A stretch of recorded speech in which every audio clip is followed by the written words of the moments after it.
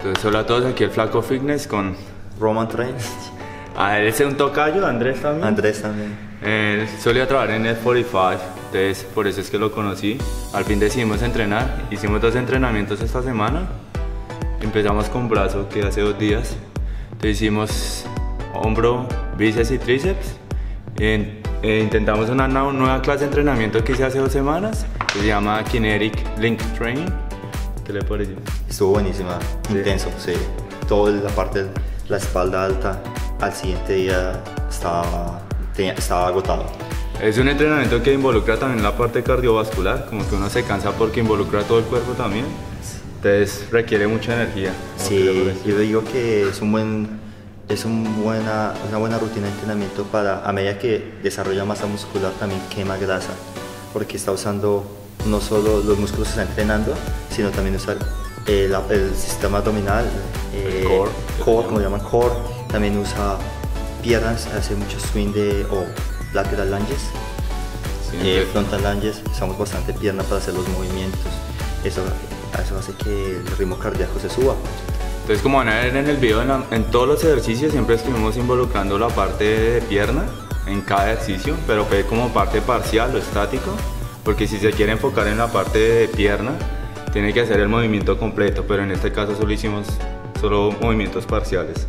Igual lo van a ver en el video en todos los ejercicios. ¿Y qué las opiniones de eso?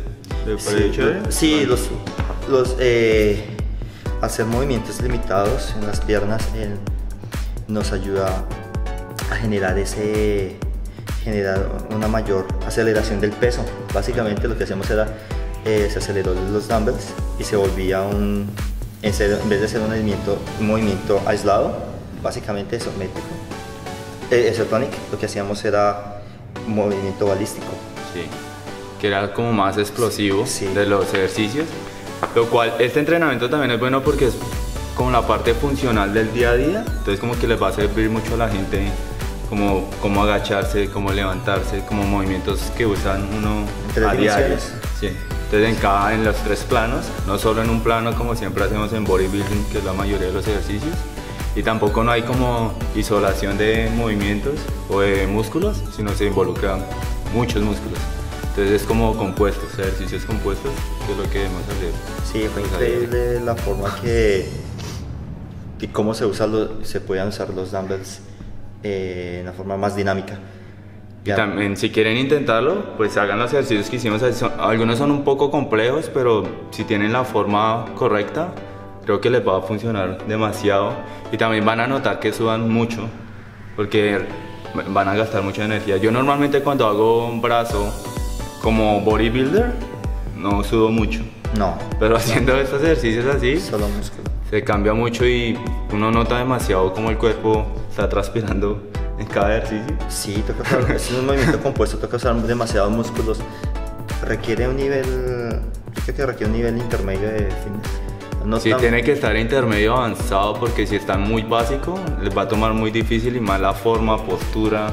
Hay que pensar en muchas cosas mientras uno está haciendo el ejercicio y si uno no está consciente de cómo su cuerpo se está moviendo, pues va a ser mucho más complicado. No, entonces una es documentarse bastante o buscar su entrenador de confianza. Sí, que acá, Aquí. que yo hice el curso. Entonces aquí les voy a dejar el link de, del Instagram de Andrés para que lo sigan.